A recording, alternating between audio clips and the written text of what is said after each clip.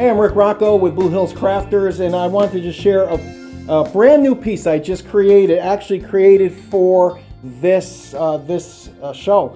It is the um, wine barrel Lazy Susan. First was I, I thought of just making a charcuterie board, and I put it out there a couple days ago for some friends, and they weren't too impressed. They all thought it was supposed to spin. So um, for today, I ended up putting a, uh, a Lazy Susan spinner on the back of it. This is actually created by a wine barrel top and then what I did was uh, I took the, the top band and I cut it down a little bit and, and put that on there. Uh, but yeah, it works really well and uh, I thought it was pretty cool to make. Anyway, you are getting it for the very first time. Even my wife doesn't know that this exists yet. That's that a couple other things that we that we make is uh, we, we made a lot of uh, the charcuterie boards uh, center cut full cut um, or full stave end cuts and then someone actually i did this for myself and i didn't i didn't think anybody would want them but i, I actually took the bung hole which is right there. This is where they uh, they put the wine in and take the wine out if you look at from this end. And uh, and i just made a, a charcuterie board out of this just for myself I had one one of our uh, people come downstairs in my wine cellar and say, "Oh my gosh, how much do you want for that one?" And uh, and I and I said, "You don't want that." And uh, and he said, "Yeah, that one is super super cool." And so I ended up making these, and even though they're you know they're kind of weird because they have a hole in the middle of them, people like them, so I thought that was pretty cool. This one right here, this is a full stave uh, charcuterie board, and uh, it's big. It's got you know room for a big party. This is the back of it. I'm to show you how I make them. A lot of the stuff that I'm going to do right now, I took out a lot of the big heavy stuff. I already pre-sanded these boards. There's, there's, three boards. This is called a stave. Uh, it's a wine stave. This is how they make wine barrels. They put a whole bunch of these together, and they put the top and the bottom, and then they put bands over top of them. What I do is I, uh, I just uh, take them all apart, these things all fall out. I, I, number them so I know which ones go with which so it's a tighter fit. I take the three of them and I sand them all down, which I'm not going to do today because uh, it's, it's too loud in the studio. So I already pre-did them. And then I cut slots in it and I put what's called a biscuit. This is a biscuit, okay? And I put the biscuits in them and I glue them with, with a Titebond glue that is um, uh, for indoor, outdoor. It's waterproof. I thought that's the best the best stuff to use because you know you get they get wet, they get all kinds of stuff. Um, so I want to make sure they that they uh, they last. So what I'm going to do is I'm going to kind of put it together. Again, it's already been sanded. I'm not going to glue them. I didn't want to get into too much detail. So I take the biscuits. I put three biscuits in it to hold it tight, like that. Then I take another one, put it on top after I glue it.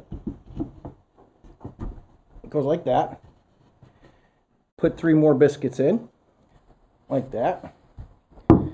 Missing, missing a biscuit, but that's okay. For the show, you can see what I'm talking about. And you go like that. It's all tightened up like that. And then what I'll do overnight, I'm going to, I'm going to clamp it overnight. So it's nice and tight. And I tighten them all down.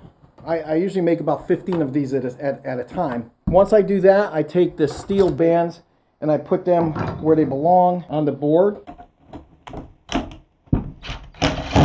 After I put all the pieces of steel on, I change my bit to put the legs on. I make these legs out of oak as well. Change the bit, put the oak, put the oak bands on like this.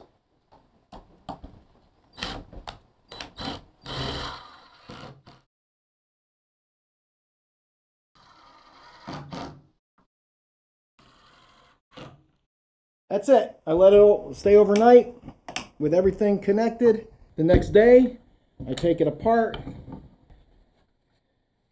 And I got a charcuterie board.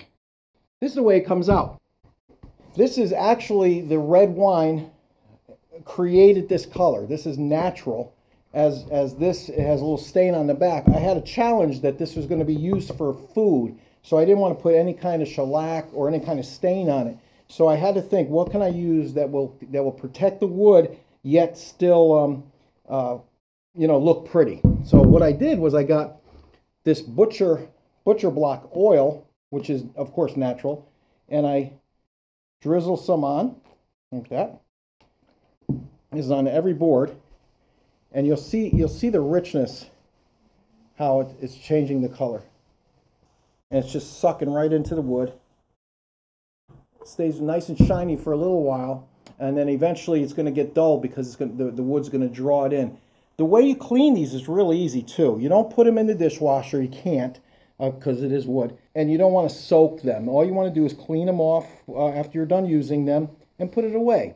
Every every couple of weeks of using it, go ahead and get your butcher block oil out and just re um, re-oil it. Put it aside. It's good for a couple of weeks after that. I'm Rick Rocco, Blue Hills Crafters, and um, the reason why we chose Blue Hills Crafters is because I live in Wallingford and I live right um, off Cook Hill Road, and my backyard looks at Blue Hills orchards. And I just every day I wake up, I am just uh, blown away of my uh, my backyard and my view. It's like going on vacation every single day.